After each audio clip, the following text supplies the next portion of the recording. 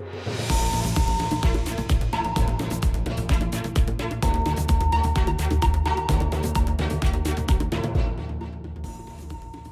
Bienvenue au sommaire de cette émission, une histoire vraiment, vraiment pas banale, elle-même très originale, celle de notre invité Christophe Février, le président des manufactures qui portent son nom, leur métier, notamment la transformation du bois, les luminaires, la gestion de l'énergie ou encore euh, cette célèbre opération qui, a existé, euh, mes ampoules gratuites. À cela s'ajoute aussi une société de production et un théâtre. L'entreprise est implantée dans de nombreuses régions de France. Christophe Février n'a pas vraiment prévu peut-être au départ de devenir industriel il a toujours une envie de relever les défis et être un entrepreneur. Il va nous raconter. Dans Éco-Région cette semaine, direction euh, Lannemezan en Occitanie pour découvrir un fabricant de mobilier haut de gamme, Prugendiam Europe, c'est son nom. Nous irons aussi visiter l'entreprise Somme basée à Dieuze en Moselle. Elle fabrique des œuvres d'art en bois, c'est magnifique, vous le verrez. Et puis nous serons à la Chapelle Saint-Luc, c'est dans l'Aube, où ARM recycle des palettes en bois pour en faire des meubles. Enfin, le rendez-vous du médiateur des entreprises, Pierre Pelouzet. Il nous parlera aujourd'hui de propriété intellectuelle avec un cas précis de médiation entre deux sociétés en litige concernant un brevet. Soyez les bienvenus. Christophe Février, bonjour. Bonjour. Merci d'avoir accepté notre invitation. Bonjour Pierre Pelouzet. Bonjour Michel Picot. Quand je disais en titre une histoire pas banale, vous allez me dire non, si, je... Mais alors quand on va raconter un tout petit peu, je trouve ça assez formidable et remarquable. Ça donne envie d'entreprendre. Et, et ça donne envie de se battre aussi tout jeune, vous, vous êtes euh, dans votre campagne quelque part, euh, dans la Mayenne, et ben, c'est dur. et hop, toute la famille va s'installer, va s'installer en, ville.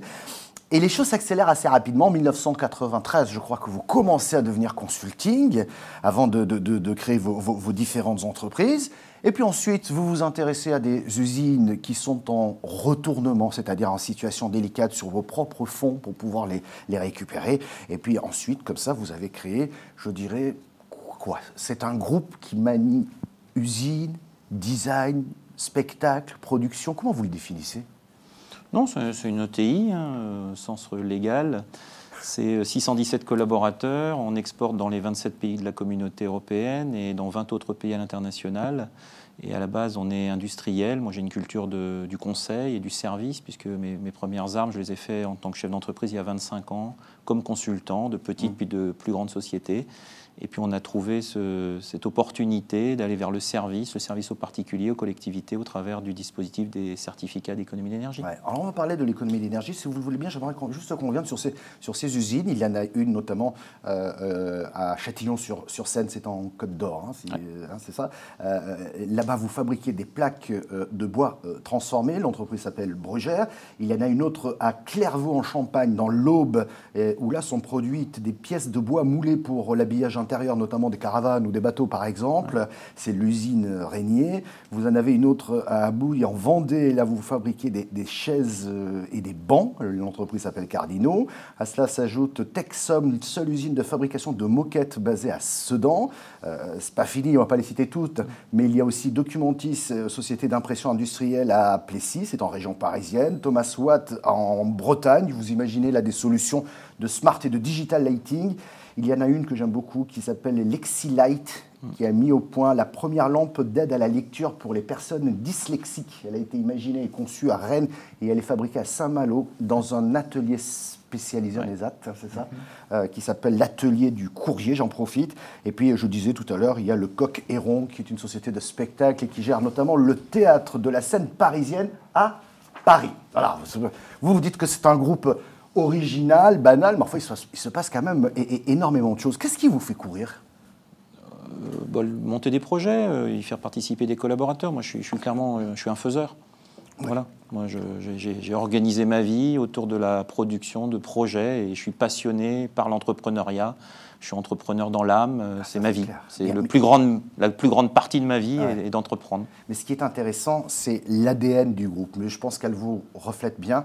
C'est que vous êtes là pour relancer, vous, voulez défendre l'industrie en France, et notamment dans, nos campagnes, mais vous faites de l'industrie, de la création, c'est beaucoup d'objets de, de, décoration, hein, ce qu'on a vu euh, tout à l'heure, mais vous respectez l'environnement et vous y mettez cette dose d'humanité. Oui, puis je pense que mon côté mayennais ressort. La Mayenne, c'est les mêmes ratios économiques que l'Alsace. C'est-à-dire c'est un territoire très rural, avec un taux de chômage extrêmement faible, des gens qui travaillent, qui relèvent la tête tous les matins et qui sont fortement exportateurs avec quelques leaders. on connaît des laitiers ou autres, mais des entreprises de taille plus modeste. Et je pense que le modèle d'usine à la campagne est un modèle pertinent pour lequel l'État devrait plus nous aider, plus nous considérer. Euh, la France compte moins de TI que l'Allemagne, mais également moins que l'Angleterre, ce qui est moins connu, moins que l'Italie. Et aujourd'hui, ce modèle d'entreprise, avec tout ce qu'on peut imaginer autour du transport, des circuits courts, de l'employabilité en dehors des grandes villes, une usine à la campagne, c'est jusqu'à 2-3 emplois périphériques, c'est de la richesse, ce sont souvent des salaires qui sont supérieurs à ceux des autres services de proximité, et c'est pour moi une des solutions de l'aménagement euh, local. Alors vous allez nous dire ce qu'on pourrait faire pour euh, l'industrie dans nos campagnes, parce que je voudrais qu'on fasse un petit tour de France rapide euh, dans Écorégion, direction Lannemezan tout de suite en Occitanie, pour découvrir un fabricant de mobilier haut de gamme. On reste effectivement dans ce qu'on disait tout à l'heure, c'est-à-dire le beau, c'est ce que vous fabriquez vous dans vos, dans vos usines. On va découvrir également l'entreprise Somme, elle est basée à Dieuze, en Moselle. Elle fabrique des œuvres d'art en bois. Et là, vous regardez bien, c'est magnifique. Et puis nous irons également à la chapelle Saint-Luc. C'est dans l'Aube. ARM recycle des palettes en bois pour en faire des meubles. C'est éco-région. Je m'appelle Emmanuel Dartois, on est chez Pruge en Diam Europe et ici nous travaillons sur ce qu'on appelle de l'aménagement très haut de gamme. On travaille pour des clients prestigieux. C'est l'aménagement de boutique, on est vraiment spécialisé dans la partie mobilier et il nous arrive aussi parfois sur euh, des demandes particulières de créer la boutique complète. On délivre un niveau de qualité qui est extrêmement haut de gamme. 7 m 40 de hauteur pour 2 m 30 de largeur, c'est la taille finale de la reproduction de l'escalier de la Bibliothèque de Paris, commandée à l'entreprise Somme. Des dessins architecturaux à la menuiserie des pièces en passant par la création 3D sur logiciel, plus de 3000 heures ont été nécessaires à sa création. Huit architectes, sculpteurs et menuisiers ont travaillé pendant un an pour réaliser les 200 pièces de l'ouvrage. Les caisses partiront mi-novembre et mettront 8 semaines à arriver à Hong Kong, avant l'installation de la bibliothèque début 2020 sur le campus Huawei. Une empreinte indélébile à l'encre de Chine pour l'entreprise Somme. Ici, Albert transforme les palettes en mobilier. On peut voir un meuble destiné à faire le tri des poubelles sélectives. On peut faire des bancs et des canapés euh, en palettes, toujours. Euh, des présentoirs ainsi que des tables et des chaises hautes. La démarche d'Armes Palettes se veut avant tout écologique. Ce sont des palettes qui sont vouées à être utilisées une fois pour euh, être détruites euh, par la suite. Donc euh, au lieu qu'elles soient détruites et broyées, je les récupère, je les démonte. Bon nombre d'entreprises troyennes me contactent pour essayer de revaloriser leurs déchets. Aujourd'hui, la marque Arm Palette propose des réalisations partout en France manque pas d'idées en France, dans nos territoires, hein, Christophe ah Oui, c'est formidable. C'est quand, quand, même intéressant ce qu'on vient de voir. Je voudrais qu'on aborde ce volet énergie, gestion de l'énergie. Je sais que ça vous tient à cœur aussi, avec une, une de vos entreprises qui s'appelle GeoPLC, c'est ça? C'est vous qui aviez alors, je sais pas si elle existe, mais c'est vous qui avez lancé cette opération, les ampoules gratuites pour les personnes les plus défavorisées, c'est-à-dire un remplacement d'ampoules pour que justement elles consomment beaucoup moins d'électricité. Euh, moi, j'avais trouvé cette initiative super originale. C'était vous, hein, c'était un engagement personnel. Euh, d'autres coûts comme ça, vous réfléchissez à, quoi aujourd'hui? Oui, on a d'autres solutions et on a lancé depuis maintenant euh, le mois de septembre machaudièregratuite.com. Et donc, vous allez aller euh, se renseigner vos éléments sur machaudière.com et vous allez, euh, et c'est pour tous les Français, quel que soit votre niveau de ressources, que vous soyez locataire ou propriétaire, une solution performante au travers d'une chaudière fabriquée et conçue en Alsace, de vous équiper en biomasse, de réduire de 30 à 35% votre consommation par rapport à une chaudière fuel traditionnelle, de cesser de polluer, en tout cas plus d'émettre de CO2. Mais vous y gagnez quoi, vous? Alors le modèle économique, il est que nous nous sommes rétribués et encouragés par, euh, d'un côté, les énergéticiens, dont la puissance publique, euh, en regard de normes européennes, oblige à financer les travaux d'économie d'énergie. Notre modèle d'affaires, il est que nous sommes rémunérés par les grands énergéticiens pour faire ce travail de vulgarisation, de communion et de partage autour des économies d'énergie. Voilà une dimension que l'on ne connaissait pas dans le groupe, ça n'est une de plus. Vous me direz quand même un jour pourquoi vous êtes aussi dans un théâtre ça, ah ben ça c'est parce que en tant que chef d'entreprise, c'est ma passion. Mais si j'avais eu de, une meilleure, euh, meilleur moyen financier, je me serais sans doute lancé en tant qu'acteur. Donc je suis déjà acteur de ma vie. Euh, mais c'est vrai que le théâtre, c'est beau, c'est de l'humain, c'est ce qu'on aime, et c'est des lieux d'échange extraordinaires, et puis également de communication, et on l'utilise aussi pour faire un peu de business, mais surtout se faire plaisir autour de réalisations dont nous sommes fiers. Donc, prochaine étape pour vous, le cinéma, le théâtre, quelque chose comme ça? Non, le cinéma, euh, je, suis coproducteur de Minuscule 2 euh, auprès, de Monsieur Delarue. Philippe, on a également, on, a, on, a, on sort, j'ai une société de production, on, produit à peu près 60 docs par an.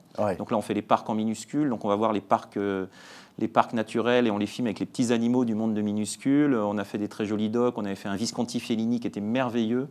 Euh, sur cette, euh, dans le cadre de la série Duel que proposait France Télé, donc, dont je suis très très fier. Voilà, on a fait un Belmondo, on a fait des jolis films. Alors tout ça est un dehors de, du gros de mes activités, mais c'est passionnant. On a fait un film sur la conquête spatiale, bien sûr, c'était l'anniversaire. donc sur, euh, sur, sur la conquête de la Lune, c'est très sympa et ça, ça, ça ouvre d'autres perspectives et ça sort un peu parfois du commun des chiffres et du quotidien et des quelques difficultés que le quotidien peut nous amener à, à gérer. Alors je ne me suis pas trompé quand je vous disais dans le sommaire que nous allons rencontrer une histoire vraiment, vraiment, vraiment pas banale. Tout de suite, c'est le rendez-vous du médiateur des entreprises. Pierre Pelouzet, on va parler de propriété intellectuelle avec un cas de médiation entre deux sociétés en litige concernant un brevet. Oui, effectivement, j'avais envie de raconter cette histoire. Alors évidemment, c'est toujours un peu difficile parce que la confidentialité ne nous permet pas de donner les noms des entreprises. Et pourtant, il y a eu un vécu assez exceptionnel autour de cette médiation. Deux entreprises qui se disputaient autour d'un brevet depuis plusieurs années. Euh, des, milliers et des milliers d'euros de frais d'avocat, voire même des dizaines de milliers d'euros. Et puis l'une disant c'est mon brevet que tu utilises, mais non, pas du tout. Et puis tout ça a dérivé, dérivé. Un jour, l'un des deux nous saisit, saisit le médiateur des entreprises. Alors on les amène en médiation. Au début, c'est un petit peu compliqué. On leur rappelle que c'est confidentiel, qu'ils peuvent tout se dire et que rien de ce qui se diront ne pourra être utilisé sur un procès, sur autre chose. Et puis petit à petit, la confiance aidant, il y en a un des deux qui finit par dire bah, bah oui, évidemment, c'est ton brevet que j'utilise, mais je ne le dirai jamais publiquement. Et là, de manière un peu magique, une solution s'est construite. Ils se sont dit, bon, ok, tu, l'as admis, c'est bien. Ben maintenant, travaillons. Est-ce qu'on peut faire un contrat de rétrocession? Tout ça s'est construit, tout ça s'est bâti. Et finalement, ces deux entreprises aujourd'hui peuvent utiliser le même brevet de manière intelligente, de manière collaborative, développer toutes les deux leur business, ont arrêté de dépenser de l'argent à se disputer et surtout des nuits sans dormir, des, tout ce que peut générer une dispute et une difficulté entre les deux entreprises, et maintenant se développe. Et encore une fois, la médiation là aussi permet le développement de deux entreprises recréer de la collaboration, recréer du lien, recréer de la confiance. Et finalement, c'est tout ce qu'on peut demander à notre société française et à nos entreprises. L'intelligence l'a emporté dans cette affaire-là. Merci Pierre Pelouzet, merci beaucoup Christophe Février de votre visite. Et vous pouvez revoir cette émission en replay vidéo sur le site de votre chaîne ou celui de l'émission. On existe aussi en audio podcast sur toutes les bonnes plateformes, mais aussi à la radio. Vous pouvez nous écouter régulièrement. Merci de votre fidélité.